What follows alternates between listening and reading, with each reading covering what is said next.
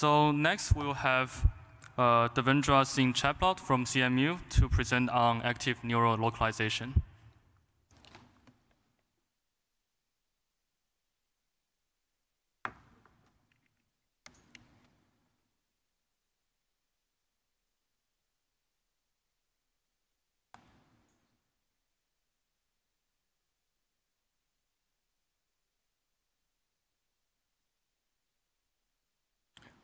Uh, hi, everyone. Um, I'm Devendra, uh, and I'll be presenting our work on active neural localization. This is joint work with Emilio Parisotto and my advisor, Russ Salakhutdinov. So what is localization? So imagine an autonomous agent in a 3D environment. So localization is just the problem of estimating the location of the agent given a map of the environment and agent observations. So why do we care about this problem? Localization is considered as the basic precondition for truly autonomous agents. It has very useful downstream applications, such as in exploration, navigation, and planning. And it's uh, very useful in robotics applications. So traditional localization algorithms receive a sequence of observations and actions, and they use the map information to output a sequence of location predictions. This is also known as passive localization because the agent doesn't have any control over its future observation. However, in active localization, the agent is also capable of predicting the actions to be taken. The actions uh, taken by the agent affect the future observation, and that helps the agent to localize much faster and much uh, more accurately. So there's been a lot of work on localization in the past two decades. Um, I've listed some classical papers and some recent papers here, but there are many more. Uh, we are interested in the problem of global localization, where the initial position of the agent is completely unknown.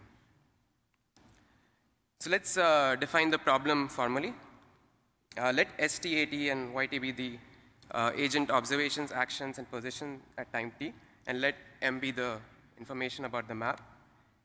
Then we are interested in predicting two quantities. The first is the belief or the probability of the location of the agent given the map information and past observations and actions. And the second is the policy or the probability of taking an action uh, in order to localize as fast and as accurately as possible. So our uh, model is based on a traditional localization technique called Bayesian filtering. So in the framework of Bayesian filtering, the likelihood is defined to be the probability of observing an observation given the location of the agent. So under the Markov assumption, the belief can be recursively calculated using the two equations uh, shown here. So the first equation here transforms the belief of the uh, agent based on the action taken using something called a transition function, which gives the probability of landing in a state yt from yt minus 1 when the agent takes the action at minus 1. And the second equation here uh, is filtering the belief according to the agent observations. We'll call the belief before and after observing ST as prior and posterior belief. So on a higher level, the first equation is uh, incorporating the information about the actions, and the uh, second equation is incorporating information about the observations. So the location of the agent is uh, discretized so let uh, O be the number of orientations and M cross N be this map size after discretization. Then the belief and likelihood are represented using a three-dimensional tensor, where each element represents the probability of the agent being in that corresponding location. So we use uh, two simulation environments for our experiments. The first one is uh, based on the Doom game engine.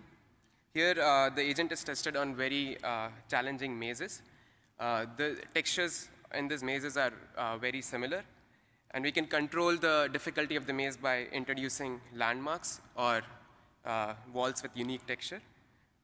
The second environment is based on the uh, Unreal game engine. Uh, this allows us to test our agent in photorealistic simulation environments. So I'll go through our model by running through a real example. So at the start of the episode, the agent has no uh, idea about its location, so its belief is simply uniform. Uh, the agent observes the first frame, and it goes through a perception model, which is actually a convolution neural network. And it predicts the likelihood, which looks something like this. The posterior belief is calculated by taking an element-wise dot product with the prior belief and likelihood. This is uh, analogous to the second belief update equation we saw earlier in Bayesian filtering. So for reference, the true location of the agent and its perspective is shown on the right. So agent has just seen like three walls currently, and the likelihood reflects that all the positions with that perspective have non-zero probability. Um, the belief and the map design are passed through the policy model, which uh, predicts the action. The policy model is uh, also a convolution neural network. After taking the action, the belief is transformed uh, using the transition function uh, according to the action taken by the agent. This is, again, analogous to the first equation we saw earlier in Bayesian filtering. So this whole process is repeated uh, at each time step. And as agent observes uh, new frames, the belief is filtered. At the end of the episode, the location prediction is the element with the maximum probability in the belief tensor. And the agent receives a positive reward for correct prediction. And the entire model is fully differentiable, so it can be trained end-to-end -end with uh, A3C. So let's go back to the example we were looking at. So at this position, uh, the agent perspective is uh, shown in the right. The true location is shown in green, but the agent could be present in any of those red locations because they have exactly the same perspective. Uh, and this is reflected in the belief on the left. All, all the locations around these positions are, uh, have non-zero probability. So at this point, the, um, uh, the true, the optimal sequence of actions to be taken uh, is just go forward and turn left, and that's what the agent does. And when it does that, it, uh, its perspective is augmented uh, according to its observation, and it's successfully able to localize. So this uh, highlights the importance of deciding actions in order to localize efficiently and accurately. So we do a variety of experiments. Uh, the first one is testing on unseen mazes in the Doom game engine. The second is uh, unseen mazes and unseen textures for landmarks. The third is dynamic lighting experiment where we train the agent in, uh, in the Unreal Engine and test it on, in the same map but without lights.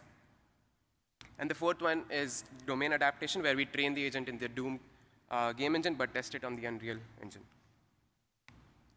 So this is the demo video of the agent localizing in the Doom environment.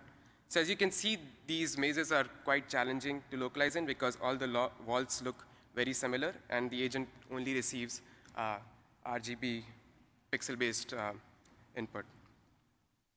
So we take this model uh, trained in the Doom environment and then test it on the Unreal environment, and it still works pretty well. This is an environment of a modern office space in the Unreal game engine. As you can see, it's uh, much more realistic than the Doom engine, and agent is still able to localize.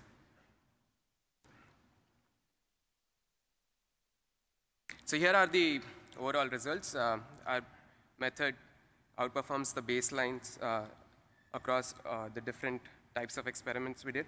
On average, we have absolute improvement of about 16%. Uh, our model not only has better accuracy, but it's several orders of magnitude faster. Um, so to summarize our contributions, we define a fully differentiable model for active localization. It's capable of deciding actions, and the entire model can be trained end-to-end -end with reinforcement learning. And we show generalization uh, not to only unseen maps in the same domain, but also across domains, from Doom uh, environment to Unreal environment. Yeah, uh, that's all I have. I'm happy to take questions.